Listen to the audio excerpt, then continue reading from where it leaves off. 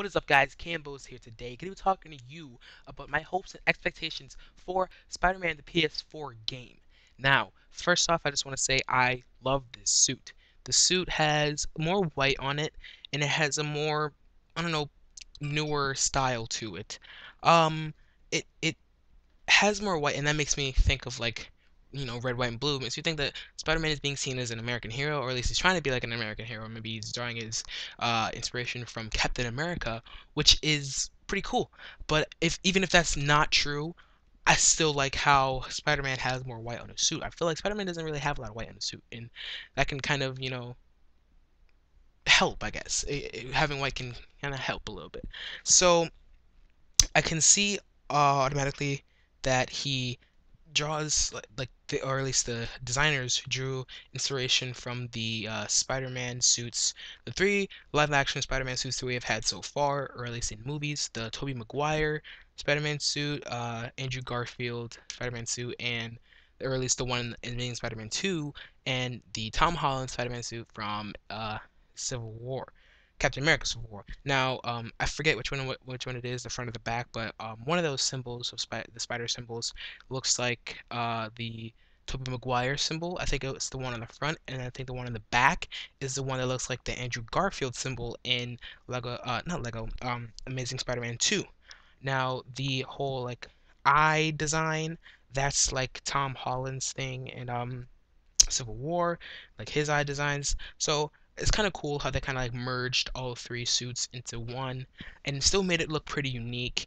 Um, but really, I'm hoping that this uh, this game it transcends the other Spider-Man games because we all know that the current Spider-Man games ha they haven't well not current but the the previous previous Spider-Man games they haven't really been all that good. They've been pretty decent, especially for their time, like uh, Spider-Man Web of Shadows and games like that.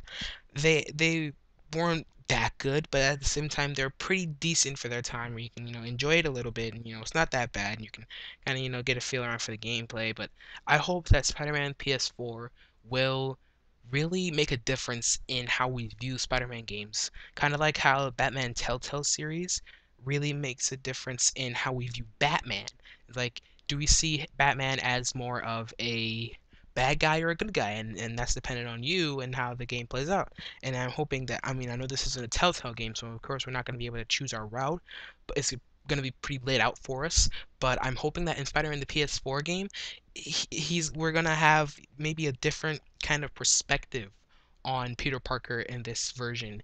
Um, maybe he's going to, I mean, he doesn't really look like he's a new Spider-Man because uh like the newer Spider-Man where he just gets his powers, he's more of like a raggedy like jeans, red shirt and a mask made out of a bag on his head. Um but looks like he probably like he's pretty teched out. He probably has some help from Tony Stark or something. And I hope I also hope that they have cameos of our heroes in here, like they always do in Spider-Man uh, games. And also, Spider-Man just teams up with literally everyone in the Marvel universe, from Guardians of the Galaxy to the Defenders. He teams up with them, even Fantastic Four and Future Foundation, Fantastic Four. You know, he's with them, so I hope that they can, you know, insert some people in there, and I hope that they can use. I, I'm pretty sure that they're going to use the um, voice from uh, Spectacular Spider-Man, you know, the best Spider-Man uh, TV show. You know, that was that was a golden age for Spider-Man. But uh, yeah, that's just a quick short video uh, talking to you guys about my hopes and expectations for Spider-Man, the PS4 game, and also what I think about his suit, I guess, but that's not going in the title. So yeah, guys, thanks for watching. If you like this video, please like, comment, subscribe, and share this video, and I will see you later. Peace out.